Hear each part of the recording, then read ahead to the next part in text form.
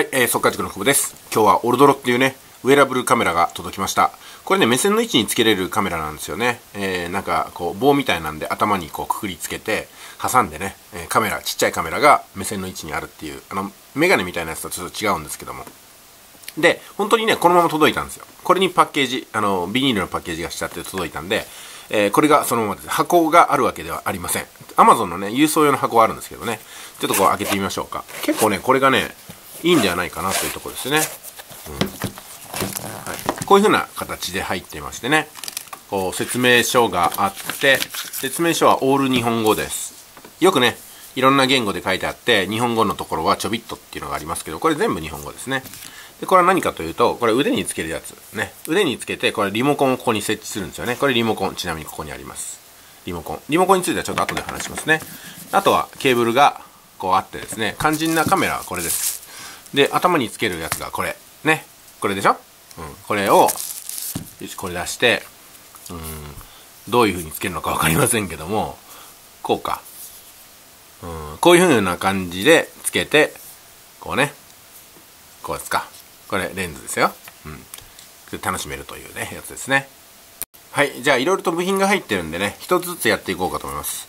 このマウントですね。このマウントをカメラと一緒につけるときに、こういう風にね。あ、こういうのがあるのか。これをくるくるくるくる巻いてつければいいですね。うん、これなんかつけられにくいな。あら。こういうこともあるんで。あ、それで、これ、ドライバーみたいなのがついてるんですよ。これは部品じゃなくて、これをね、くるくる回す専用のドライバーですね。これ、外すときに使うかもしれないんで、なくさないようにしないといけないですね。よし、グッと。これね、3点で止めれるようになってます、これ。これは、ドライバーみたいなやつですね、新設設計。で、あとは、こういう風になるんですかね。あとは、あの、これ、こっからね、声が聞こえるのかな。だから、こういう風なので、こうカバーしておくと、ゴムカバーをね、おっとつかないですね。うん。こうかついた。外れないと。でこれはなんかもう一枚ついてるんで、えー傷んだ時にも大丈夫ということですね。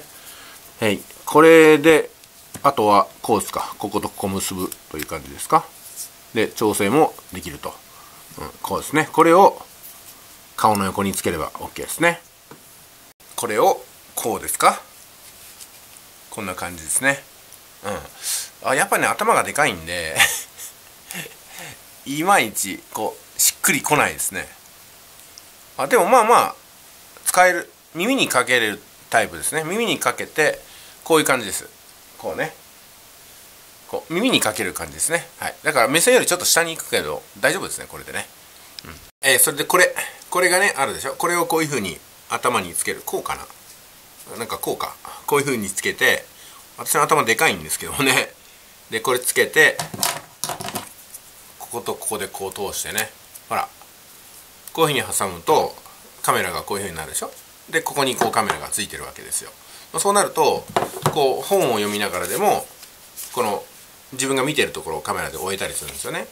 でここにいろいろとリモコンがついてたりインジケーターがついてるんですけどもこうやってこうやって押すと思いきやそうじゃなくってこうやってねリモコンがあると。手元のリモコンで押すことによって例えばここについてたら操作が結構しにくいんですよね。ボタンの位置見えないですしねこう押したらちょっとずれちゃいますから。やっぱりこのリモコンがあるのはありがたいなと思います。あとはそのイヤホンでねイヤホンっていうかなんか音声であの電源が入りましたとか録画中ですとかっていうのを教えてくれるんですよね。これも便利だなと思いますね。うん、まあ、こういった形のものでちょっとこれからね結構楽しめるんじゃないかなと思います。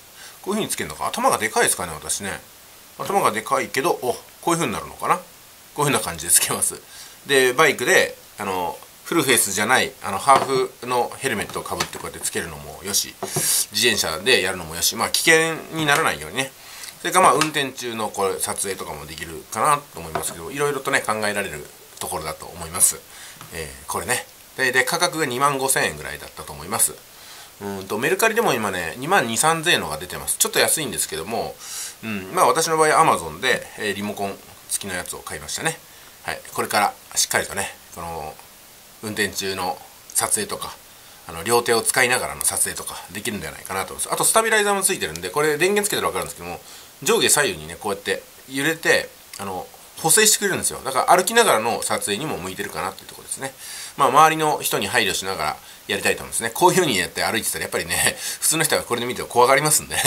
うんなんか盗撮に間違えられないようにやっていこうかと思います、えー、それではね今日はオルドロの紹介させてもらいました。ありがとうございます。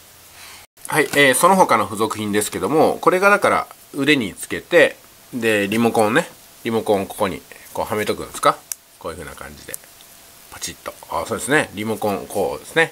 マイケル・ナイトみたいな感じです。これとあとこれは何だろう。何かに使うなんかねステイみたいな感じですね。でこれがもう1個あってケーブル充電用のケーブルがあります。これはねバッテリーじゃなくて完全充電なんですよね。23時間で充電して56時間撮影できるんだったかな？ちょっと試してみようかと思いますけどね。で最初からこのカードがついてると。ディスクおおすごいですね。マイクロ SD がついてる。おおここに USB とかやれるわけだ、ねこんなんです 4K 映りがいいんでしょこれで。これでねなんかあここがバッテリーケーブルのあれですか。HD ハイデフの。でねなんかこれをモニターに映すこともできるんですね撮影しながら。多分。うん。いいじゃないですかこれね、うん、すごくいいと思います。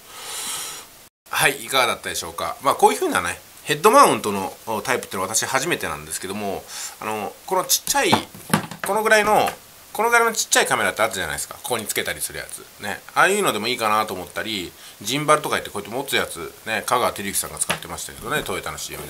ああいうのもいいかなと思ったんですけども、まあ、悩んだ結果これにしました、うん、まあ価格もお手頃っていうのもあったんですけども やっぱりね本を読みながらの撮影とかうん、あのフリーハンドになるっていうのがいいかなと思いましたね。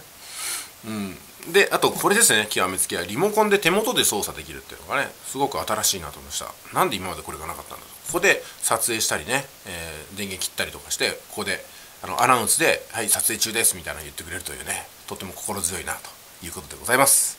じゃあオルドロっていうのかな？オルドロ EP7 の紹介でした。